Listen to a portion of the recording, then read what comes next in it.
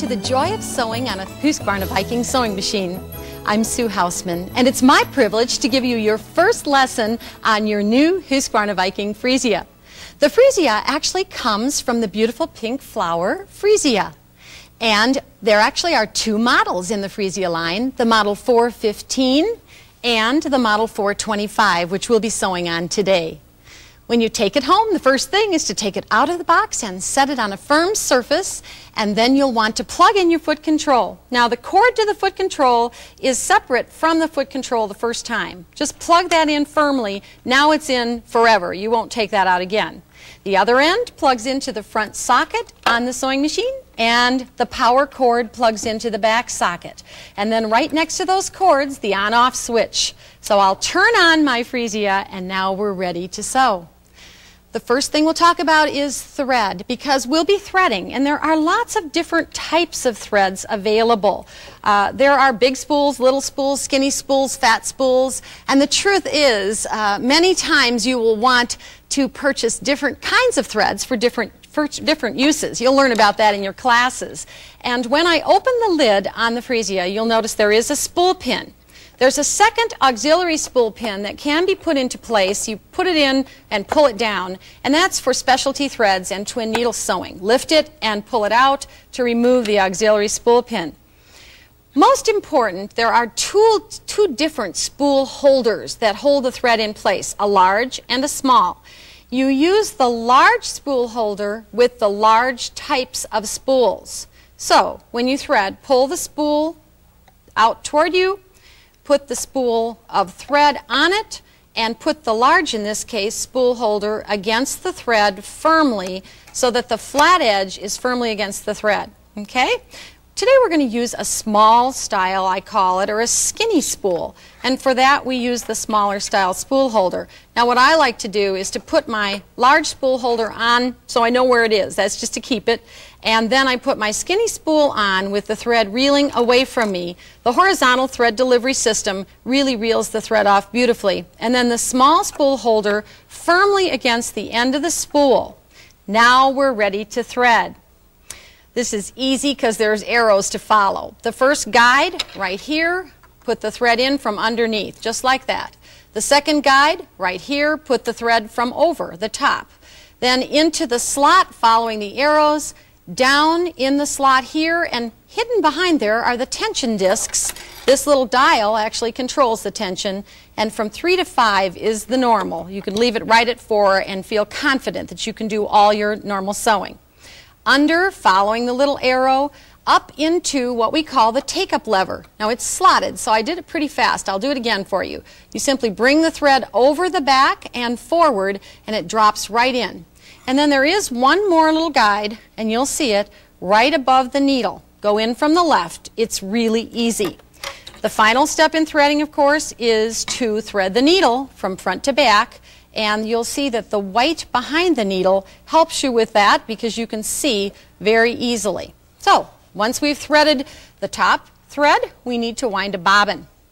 Now Husqvarna Viking bobbins are green and they have a little Husqvarna Viking logo on one side. When you put it on the bobbin winder spindle, put the logo out and then pull it down to put it into bobbin winding position. That means the needle won't go up and down as you wind.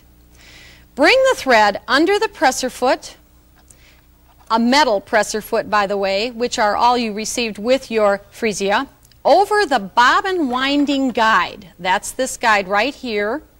And over to the bobbin, putting several turns of thread on the bobbin in a clockwise direction. Maybe six or seven turns, just enough to get it started. Then put the thread into the cutter right here and cut the thread. Step on the foot control and go. And your bobbin will wind. It will shut off when it's completely wound if you want a full bobbin. And the other thing I want to really point out at this stage is that only Husqvarna Viking winds the bobbin directly from the needle. If we had run out of thread right in the middle of a project, we wouldn't have to unthread everything. We just bring that thread over under the presser foot and go ahead and wind. I won't take time to wind it completely full because we won't need that much today, but I bring the bobbin up to turn off the bobbin winding function and then bring it over to the cutter and simply cut the thread and go to put it into my Husqvarna Viking. Now, as you look at the bobbin area, we will just slide off the bobbin cover and set that aside. We won't need it for a minute. And again, we drop that bobbin in place with that Husqvarna Viking logo up. So just drop it in. It won't actually go in wrong. If you try to put it in upside down, it won't go in. So the little logo is up. Now, to thread the bobbin, right here at the front, there is a little tension spring. Hold the bobbin firmly with one finger and slide the thread into that tension spring and over to the left, and you'll actually hear it click up into the guide and down into the cutter and then slide on the cover and cut the thread. Another wonderful Husqvarna Viking feature, there's no need to bring up the bobbin thread when you begin to sew. It comes up automatically. All right, believe it or not, we're all set to go. And I'm going to close the lid and point out that on the lid of my Husqvarna Viking Freesia 425, all of my stitches are pictured and they're numbered. That tells me how to select them. Actually, when I turn on my Husqvarna Viking Freesia, it comes on to stitch 00, which is the straight stitch. And if you'll follow my finger across, you'll see that we have actually 30 stitches on the Freesia 425. Now, to select a stitch, I would simply touch the buttons on my display. And you'll see that I have 00, zero for straight stitch. If I plus the button, stitch number 20 would be a different stitch. But right now I want the stitch 00, zero straight stitch. And notice the flashing, recommending that I should use my presser foot A and a recommendation for tension, 4 to 6. So I've set my tension normally, I have the A foot snapped on, I'm going to place my fabric underneath the presser foot, reach behind and lower that presser foot lift always before you begin sewing, okay? And once you've done that, you step on the foot control and you're ready to go and sew. The 1 5 is actually the 5 eighths limit is the seam allowance on the plate. Okay? Now, let's point out a couple more things over on our functions because at the beginning of sewing, I would normally reverse stitch to tie off. And so I would simply press this little reverse button. And while I'm pressing it, my Husqvarna Viking sews backwards.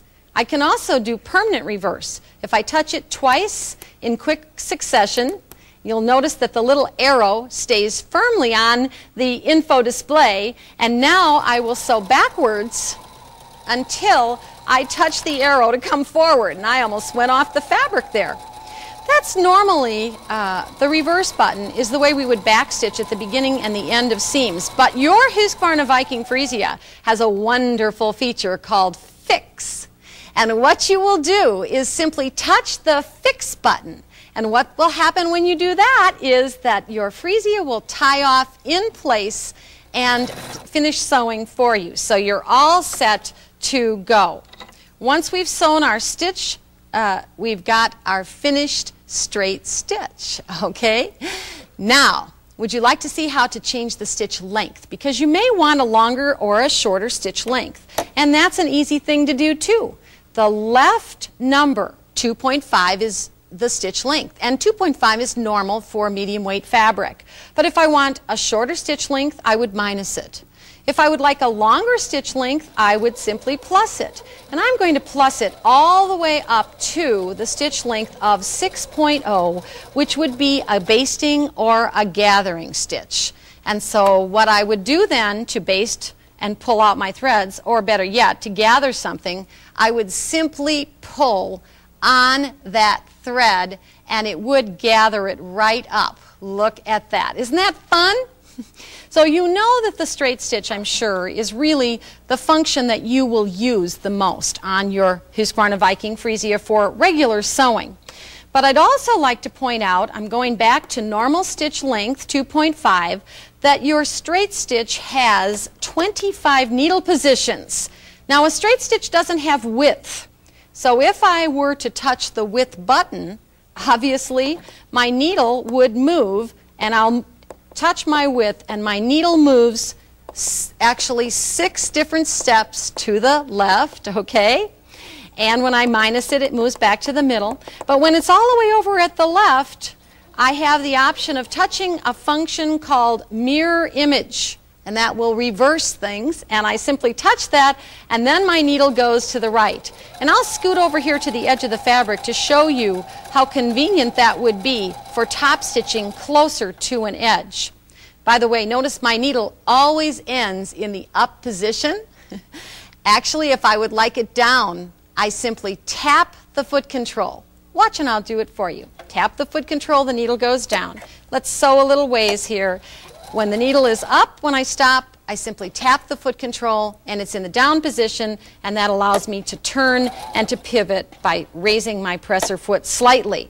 So we're ready to go now. I want to tell you one more thing about needle position because actually there are times that you would use that and one of the main ones is when you're putting in a zipper and our presser feet, I'm going to go actually to my furthest right needle position the 25th one over, and I will snap off the presser foot. Okay, so the presser feet snap on and off very easily. Just grasp them and pull them down and toward you, and off they come. And the new presser foot, in this case the zipper foot, has a little bar on the right side and the left side. I'm going to press it on first by simply pushing that little bar up and into the shank or ankle. And now you can see how close I could stitch to that side of the zipper. To get close on the other side, simply snap it off. And you see the little piece there that you can, it's like a little hinge that you can just go right into. And now by touching mirror image, remember, that's what brought that over. I simply touch mirror image and that brings that needle over. And now you can see how close I can get to my zipper on the other side of that zipper teeth. So, we've learned a lot already. We've learned about straight stitch, we've learned reverse, we've learned the fixed stitch, and about needle positions. But I talked about width there, and I think it's important to know that width is really something you will use most when you're sewing stitches that have a width, a zigzag, for example. So I'm going to select my stitch number three, which is my zigzag. And since this is really the first stitch that we've selected, I want to take a close look over here at just how we select stitches. Again, we have 0, 0 in the info display, which is a straight stitch. And a plus and a minus underneath, and a plus and a minus. The, the left plus and minus changes the number to the left. Watch as I change it. 1, 2, 3, 4. It goes up to 1, 2, actually we only have 29 stitches, so it only needs to go to 2. But I'm going to 03, so I'll leave it at 0. And the plus and minus on the right changes the right number. And that does go all the way to 9 because we have many stitches on our freesia. But I'm going to set it to 03, which is a zigzag stitch, and you will see that the normal setting is 3, length, uh, 3 width, excuse me. The width is, in, is actually indicated by the little zigzag and the width changing there from plus to minus, plus being widest, minus being narrowest, and then the length is automatically set at 2.0. So as I begin to sew that zigzag at 2.0 length and 3 width, I'm going to actually change my width to go all the way to 6. And I'll show you this sample so that you can see how the width of that, now at 6 millimeters wide, swings the entire width of that uh, hole in the presser foot. Do you see how we went from a narrow width all the way up to a wide? So now you understand the concept of straight stitch and zigzag and width. One of the things that we do a lot in our sewing is finish the edges to keep them from fraying. Boy, this piece of fabric is fraying already on me. I have a little blouse or top here that started, and you can see to keep these edges from fraying, they've been finished with a three-step zigzag down the front of the facing and on all the seams. And then actually the seam would be sewn at that 5 8 seam allowance and pressed open. So this would give me the nice finish that I desire on the inside of my clothes. How do we get that great overcasting stitch it's called? Well, we look, of course, at our stitch selection, and I see that that is stitch number four. And so I'm going to select stitch number 4. And remember, it's 04, so the O is there. I simply plus to 4. Yes. And now I am ready to sew my stitch number 4. And I would simply take my edge of fabric and I would stitch down the edge of my fabric like so. Now, a lot of folks use a regular zigzag for this. Notice, by the way, that our computer sewing machine, the Freesia, would be good to trim some of those off before you start. The computer Freesia automatically selects the best length and width in an instant for you. You don't have to even think about that because the computer is doing it for you. But there you see now the edge of my fabric all finished so that we wouldn't have to finish that off uh, in any other way. So, overcasting. Now, would you like to see a faster way to sew than what I just showed you?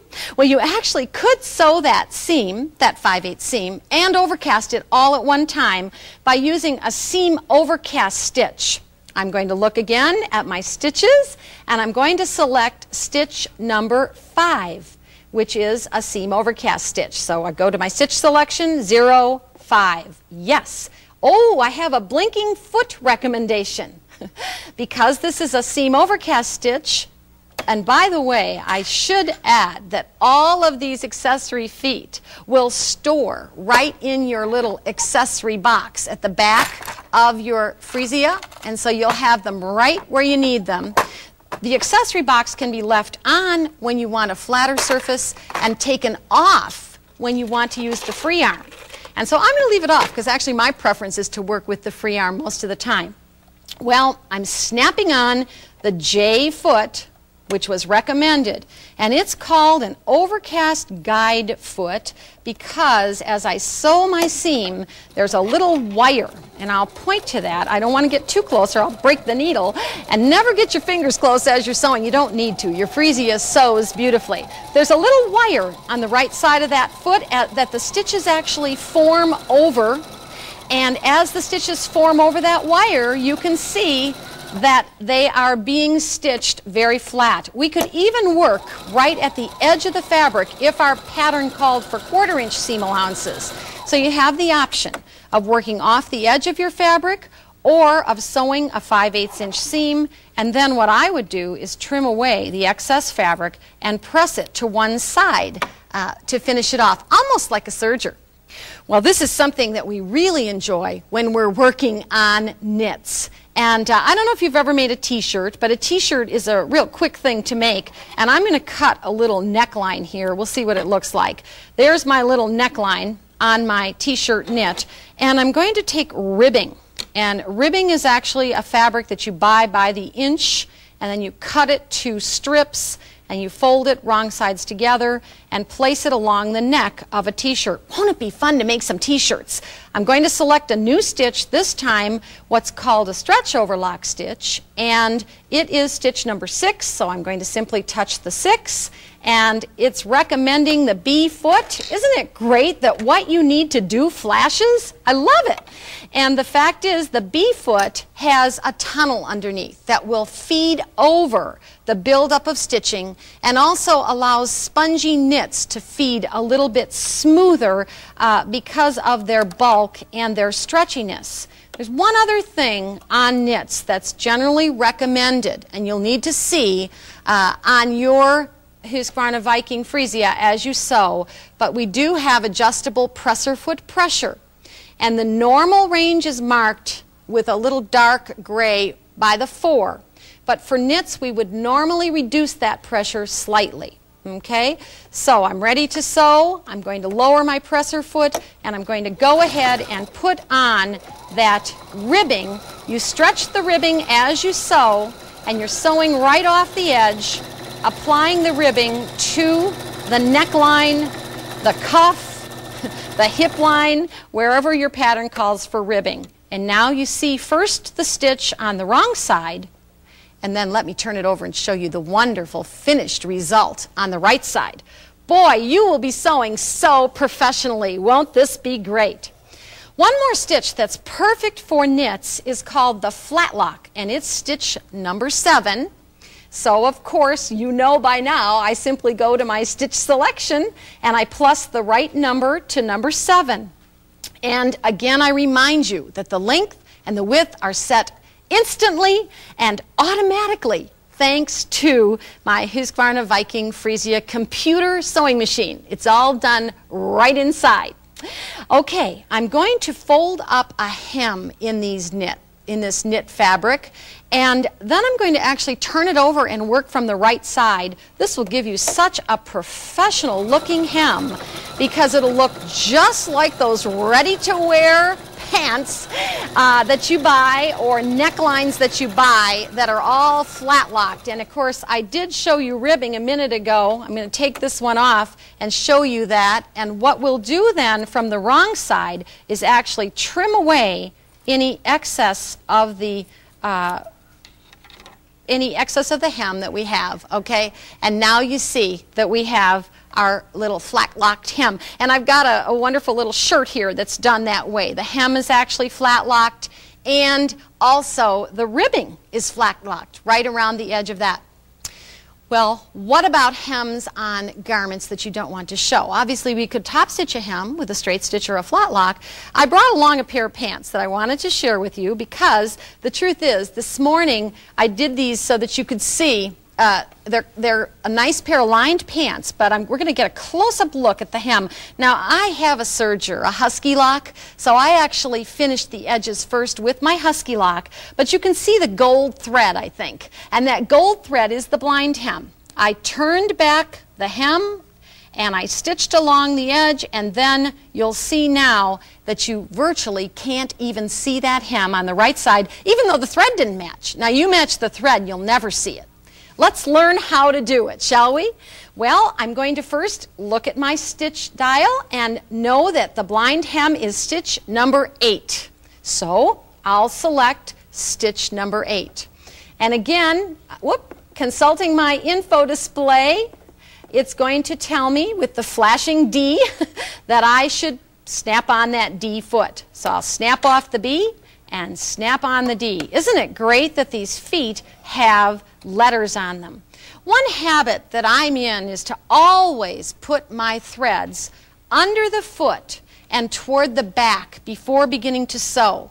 I will just remind you of that. It's just a really good habit to get into.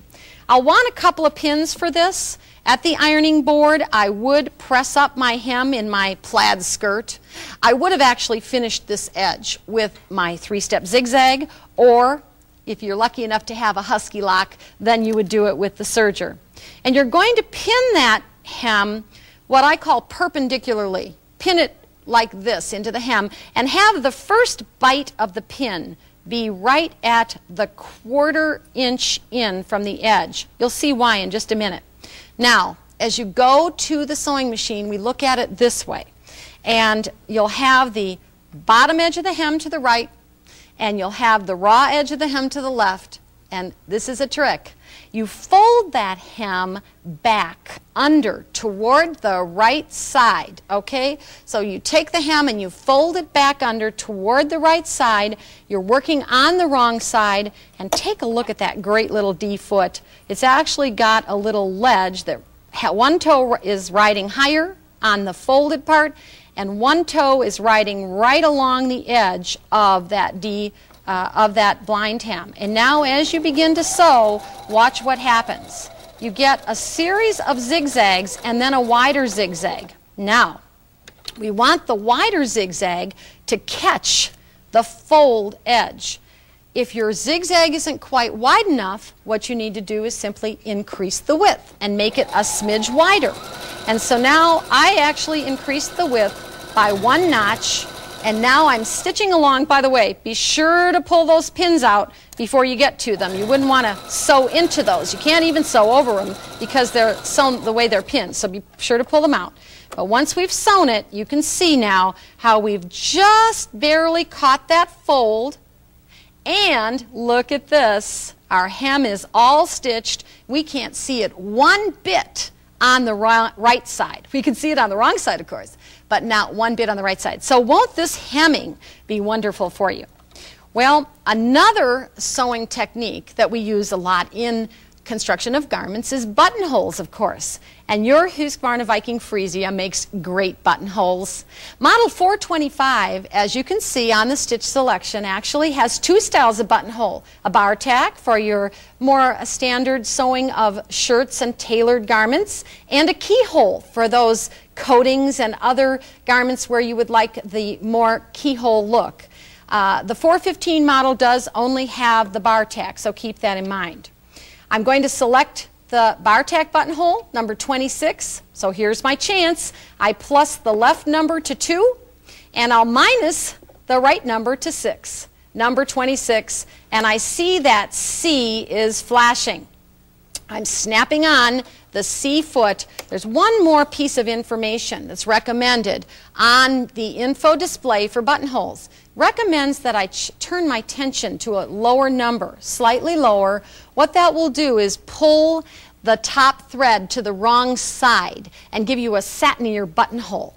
All right, we're ready to sew, and I do have stabilizer in my buttonhole. In this case, I would expect it to be interfaced. Often I use stabilizer as well under a buttonhole. And you'll notice that the foot has different length toes, okay? You would actually take your button and lay the button against the needle. So I'll put the needle down a little bit. And when you lay the button against the needle, whatever line on the long toe, whatever line on the long toe that that button comes up to, keep that in mind because you're going to sew to that line before the direction changes. All right? So now we're ready to begin our buttonhole and I will simply start sewing. Here we go and I think you'll see that we are sewing backwards first. This is on purpose because now we can see that the line has reached uh, the excuse me the stitching has reached the line that we that we took note of. So to make the buttonhole change direction, I'm going to touch reverse on my display. And when I touch reverse, it's going to take and sew now the bar tack and then the other end of the buttonhole. So, ready to go. There's the bar tack, and now we're going to come down the other side of the buttonhole. Automatically, you don't have to do anything. Touch reverse again when you reach the starting point, and go ahead and it will bar tack and tie off for you. Great. Now, to put that buttonhole into memory so that you can sew a second one, you simply touch stop over on your selection panel. Now that I've touched stop, I'll get a second buttonhole just like the first. And so here we go. And you will see that automatically my Freesia knows to sew a second buttonhole. Isn't that going to save you time? Just like so. And those bar tacks are actually mending stitches. Stops automatically. What a time saver that is. All right. Now, once we've got buttonholes, the obvious next step would be to have buttons. And we can sew on buttons with our Freesia.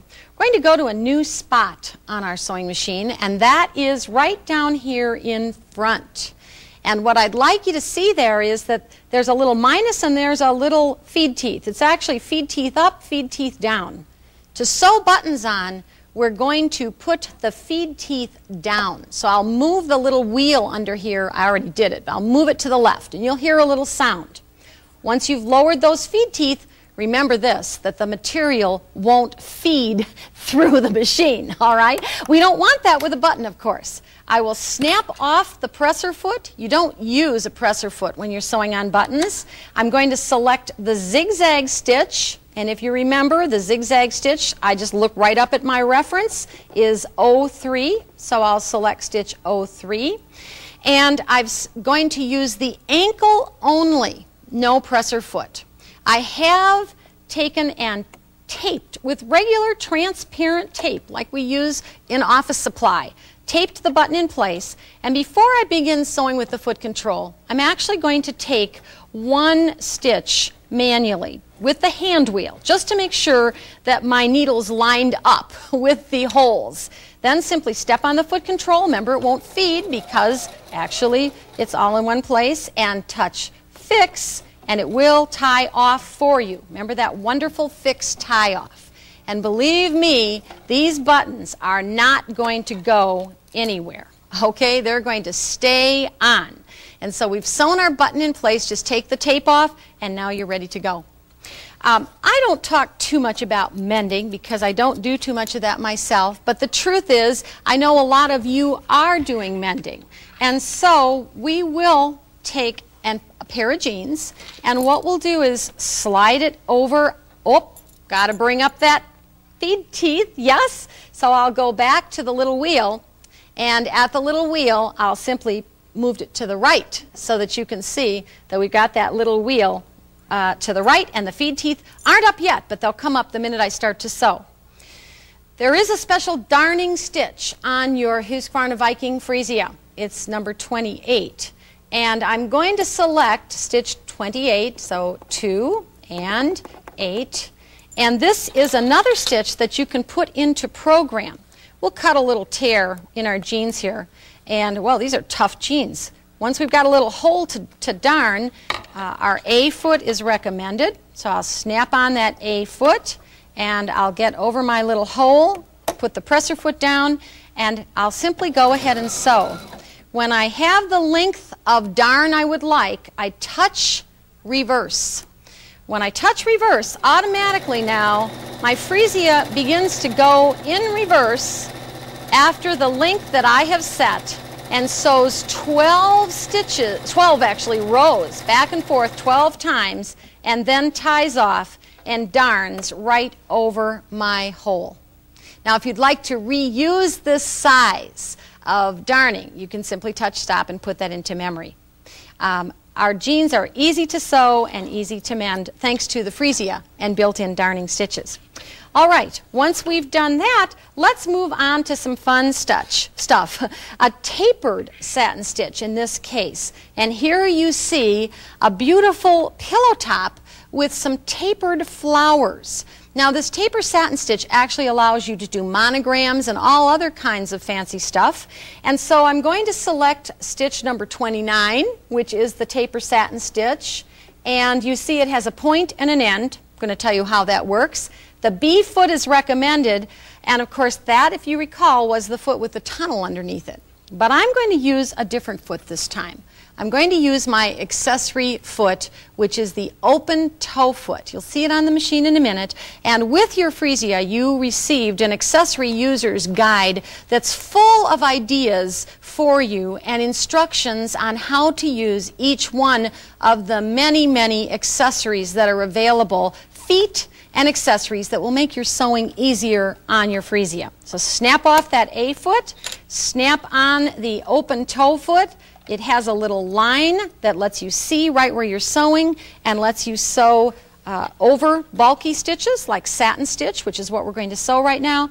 And in addition to that, uh, you will see that it does sew and let you visually see it. I'll begin sewing stitch number 29 and you'll see that it starts at a point and sews out to my widest zigzag in a satin stitch. When I touch reverse, it actually tapers right back to the point and stops sewing.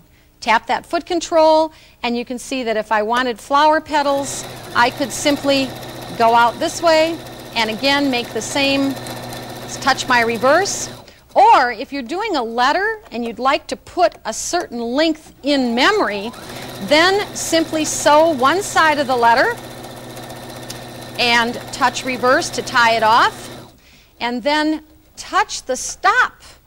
And that will put the length of satin stitch that I have put in memory, uh, have sewn first into memory, and I'll go ahead now and sew the other side of my H in case you wondered what letter I was doing here.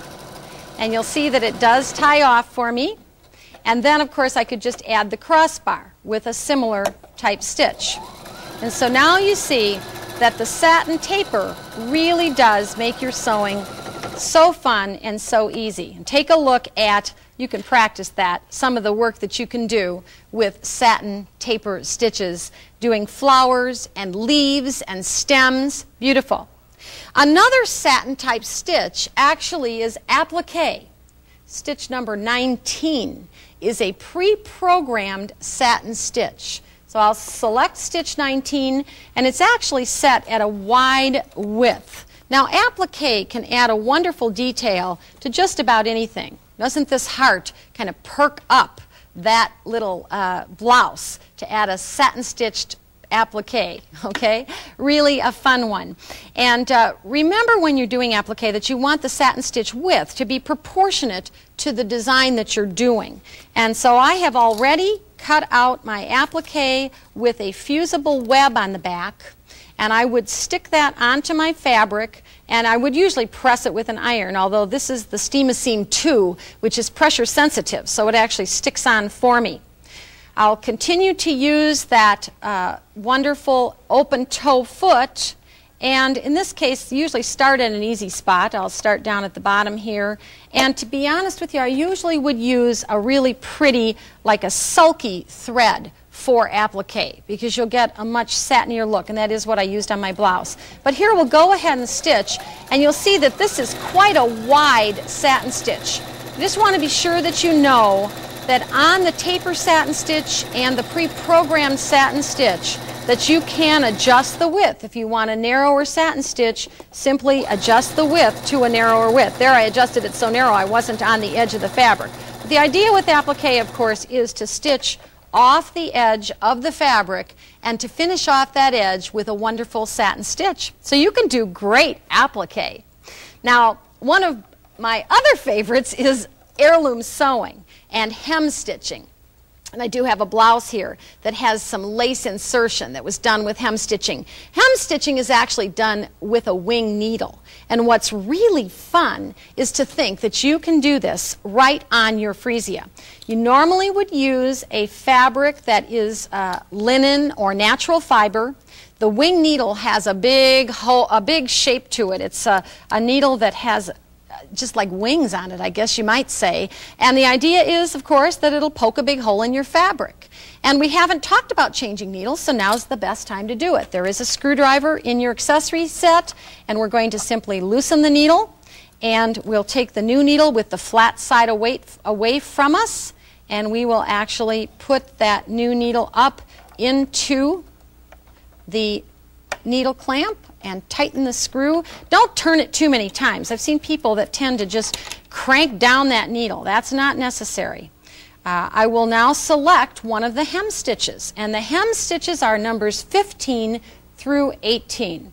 So let's try stitch number 15, uh, and oh, I'm going to do 16 because that's my favorite, the entre deux stitch. And we'll set stitch 16. Recommended is the A foot. We would match the top and bobbin thread and we would sew with a stabilizer underneath on our woven fabric that is uh, loosely woven, generally a linen, a linen cotton blend. And truthfully, this is usually done in a matching thread color and a fine weight thread so that the thread doesn't fill the holes. But you do get the idea, I think that you see those holes forming thanks to that needle. By the way, one other thing that I haven't mentioned. Anytime we use the stabilizer, we're actually using a tearaway stabilizer. And once you're finished with your sewing, you would just tear it off the back of your fabric. That's what you would do to get rid of it. So keep that in mind for all of your decorative stitching. Now, we're going to do some decorative stitching and your Freesia 425 really has a lot of beautiful decorative stitches. I'm quickly changing the needle, and in this case, we're going to go back to our uh, stitch display, and you will see that we have many beautiful stitches in the numbering from 10 to actually to 25. So lots of beautiful ideas that you can do. My suggestion to you is to run a stitch sampler. For example, select stitch 10, which is your first decorative stitch. Take a piece of fabric with a stabilizer underneath, okay, and then whoa, it says to snap on that B foot, so I'm going to be sure and use the B foot or my open toe foot where I can see a little better That has the tunnel underneath. That's the reason. And I'm going to then go ahead and stitch some decorative stitching. And what I would suggest to you is to make a sampler. Just take a piece of fabric and sew all your decorative stitches so you know what you have.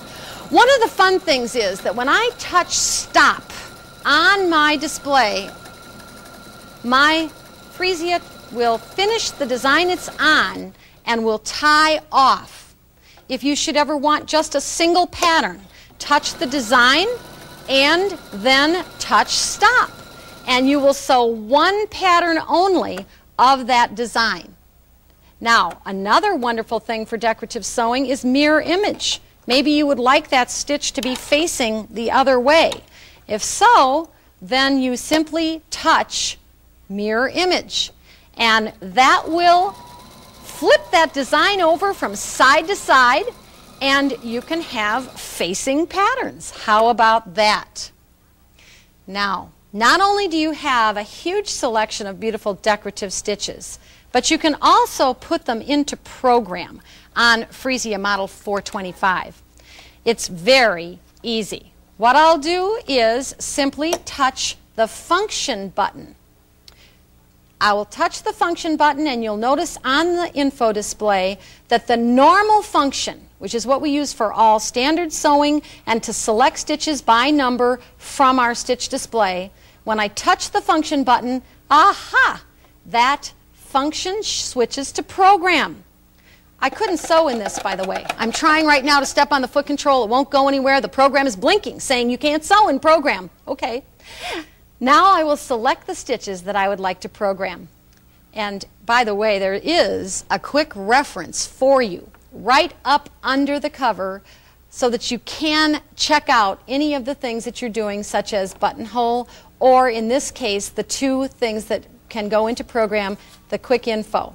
So I would touch stitch 13. All right, there's stitch 13. And I would then enter it by touching the little arrow.